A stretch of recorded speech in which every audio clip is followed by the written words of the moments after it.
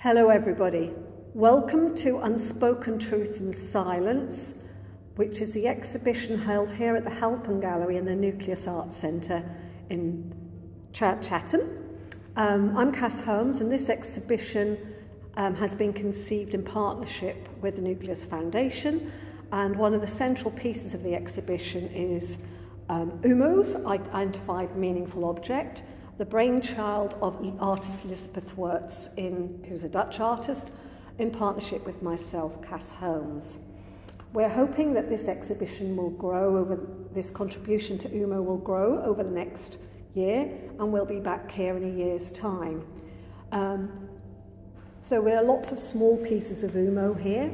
I'll come back to that in a little while, but you can see each one of these objects, which is wrapped um, unidentified things inside, which could be a stone, a pebble. I even know that there's a pair of glasses in one of them, um, are wrapped in their own little secrets. You can visit uh, my webpage, cass and casholmes.co.uk, and it'll be what we value, what we miss. So you could see more about this project online and how you may participate.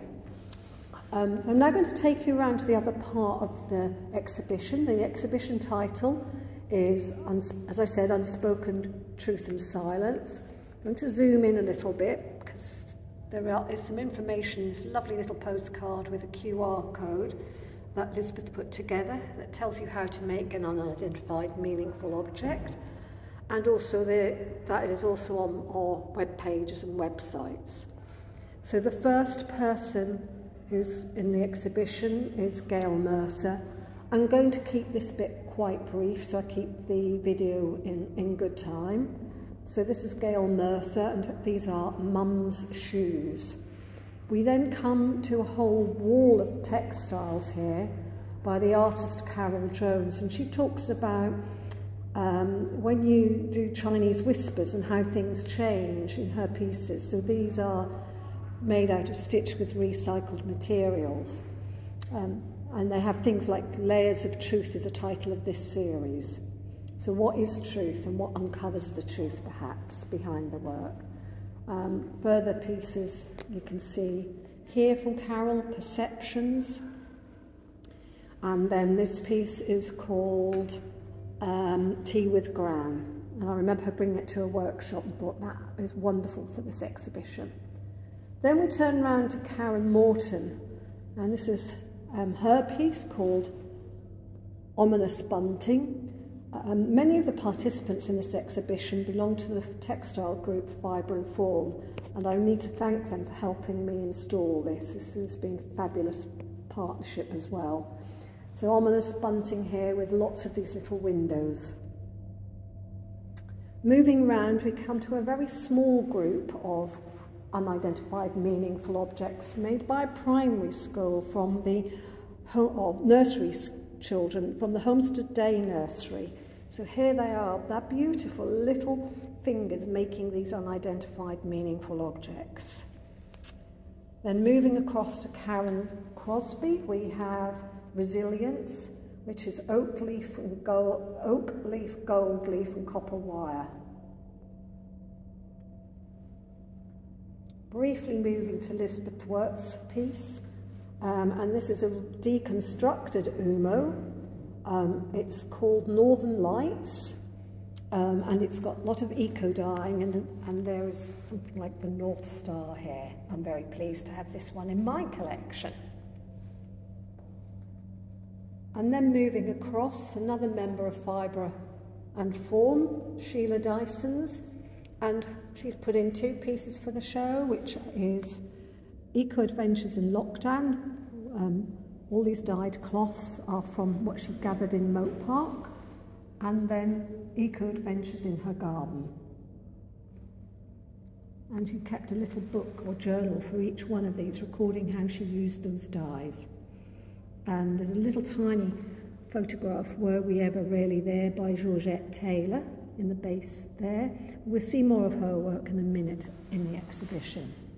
Then moving along, there's Rosie James, HMS Gannet with runes at port, Suakin. So that's Rosie James. with her beautiful dangling threads, giving a great deal of animation and motion to the work. And then the partner piece, HMS Gannet at Port Suakin. There we go. Oops, sorry, it went out of focus there.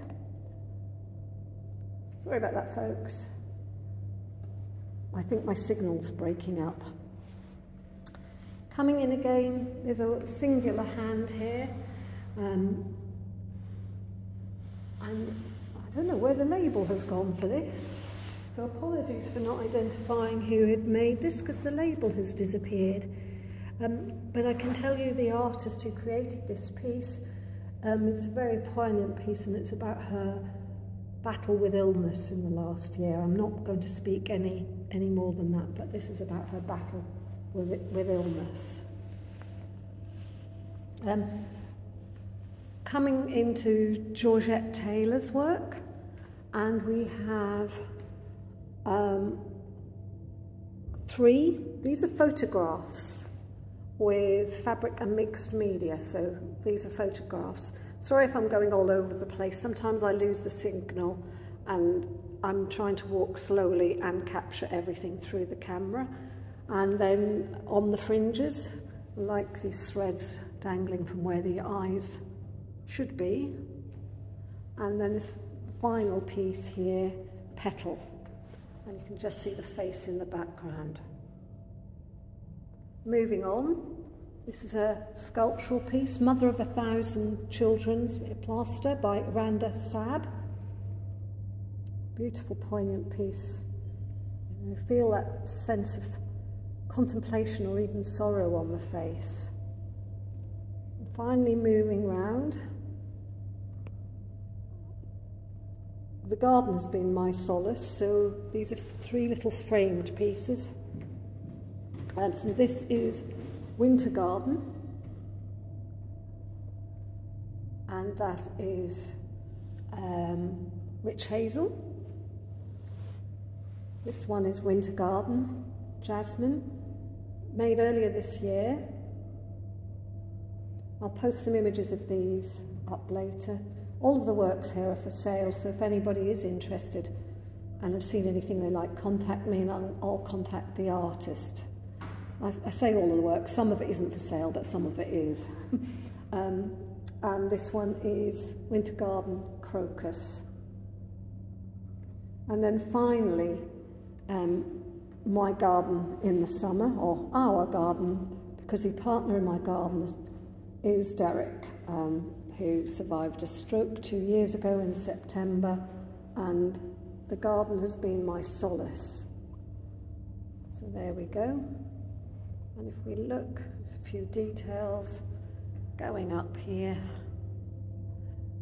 just to remind me that little bits of joy and a lot of exercise to keep me well and fit can be obtained by working in the garden.